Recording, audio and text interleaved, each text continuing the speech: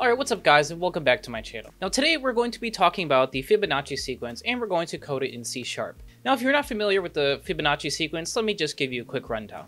This super smart guy way back in the day, um, you know like 800 years ago, he developed this uh, good old sequence where essentially at any number, the past two numbers added together will equal it. And it shows up, you know, out in the wild in the math world and I don't know, the, it's just pretty cool thing and it's pretty common in the coding world to go ahead and code it and, you know, just be aware of it. So now that we're familiar with what it is, let's go ahead and create our new project. It's going to be C Sharp, of course, and then we're going to call it Fibonacci sequence. Now, essentially, we're just going to be making a calculator. So, you know, if I want the fifth number in the sequence, it's going to calculate the all five numbers up to that. So, you know, the first, second, third, fourth, and then the fifth number that we asked for. Okay, guys, so right off the bat here, let's um, open up our main method and get rid of this hello world because we don't need any of that. So we're going to start out by making this user validation loop and that's just to confirm that um, the user can't enter any garbage and the program won't crash. So in here to make sure that the program doesn't crash in case there's an error, we're going to have a try catch. And in case of an error firing, we're just going to go ahead and print out to the console. We're going to say um, invalid number, please try again. Okay, so inside the try area, we actually want to ask the user a question, and that question is, what number in the sequence would you like to calculate? So we're going to go ahead and say prompt. Oops, wish I could spell prompt the user. We're going to say console dot write line. We're going to say, please enter a number to calculate, space, colon. Then we're going to say um, the int nth number is equal to int dot parse, and then we're going to uh, do console dot readline. So we're going to read in a line from the user, and we're going to instantly convert it to an int because um, obviously the console.readline comes back as a string. We're going to try to parse it to an int. In the event that there is an error, let's say they typed in uh, a double and it can't be casted to an int, we're going to go ahead and instead of firing error, we're just going to let them know like, hey, try again, you entered some sort of something wrong. And then right below this, now that we have the number from the user, we're going to go ahead and calculate the Fibonacci. And we're going to do that by calling um, nth Fibonacci and passing in the nth number. Now, obviously, we have not uh, written this function yet, so we're going to do that now. So right above this uh, main method here, we're going to give it a couple lines of space. We're going to say private static void because we don't want to return anything. We're just going to essentially print it out and pass the number we'd like to calculate. We're going to call it nth Fibonacci, and then we're going to take a parameter of int nth term because it's the Fibonacci sequence, there are two starting numbers, that is 0 and 1, so we need to initialize those. So we're going to say int number 1 is equal to 0, int number 2 is equal to 1.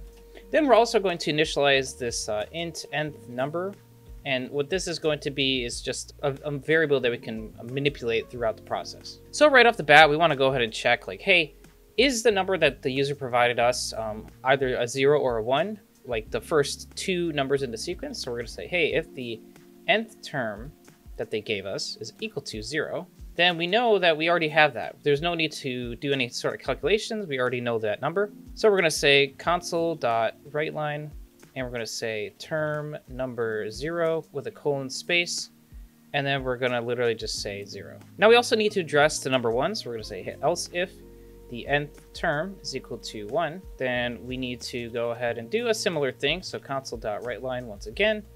Instead here, we're going to say term number 1, colon, is 1.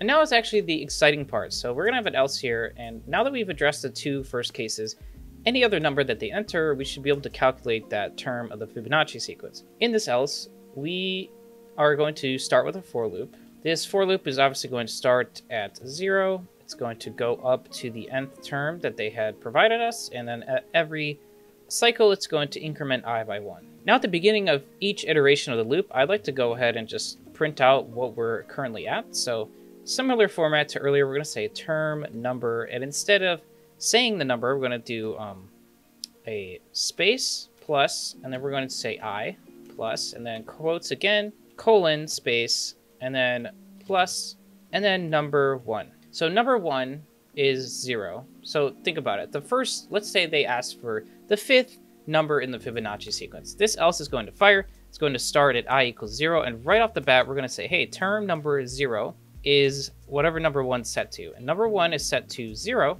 and that is true because the first number of the Fibonacci sequence is actually a zero. So now that we've gotten that out of the way, we need to do some math and some manipulation that way that the next time this loop runs, the right numbers will be presented. So right after this first uh, initial printout, we're going to say the nth number that we initialize above is equal to the number 1 plus the number 2.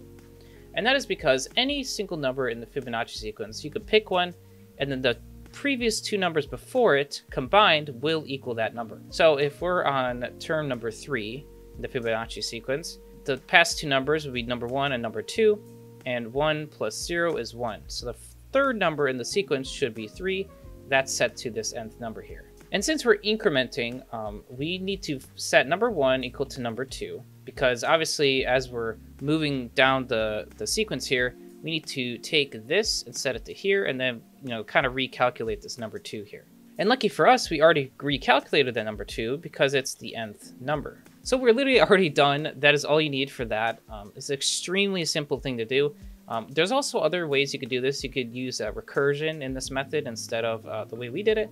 I did this just for simplicity and for some of you beginners out there that might not have too much experience with recursion yet. But yeah, I mean, this is one way to do it. And let's go ahead and run it and make sure that it works. Okay guys, our program is up and running, and now it's asking us for a number to calculate. So right off the bat, I want to make sure our user validation loop is working and the program doesn't crash. So I'm going to type in some garbage to just ensure that things are working right. So I'm going to type in like a string, You'll notice uh, it just says a invalid number, please try again.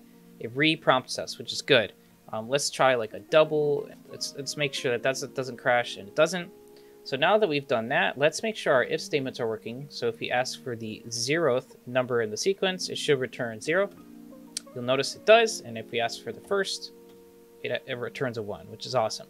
So now we can um, go ahead and foolproof test our else statement, which should calculate any other number in the Fibonacci sequence. So if I want the eighth number, I could just type it in here, and you'll notice it calculates it. I could go down the list myself, but you know, you could pick any number in here and just kind of test it. So 8 is, uh, you know, if you add 5 plus 3, you get 8. If you add 1 plus 1, you get 2. And 13 is the eighth term in the sequence. You'll notice it says 7, but that's just because we started at term 0 um, because of the loop. But yeah, we asked for the eighth term, and the eighth term is 13.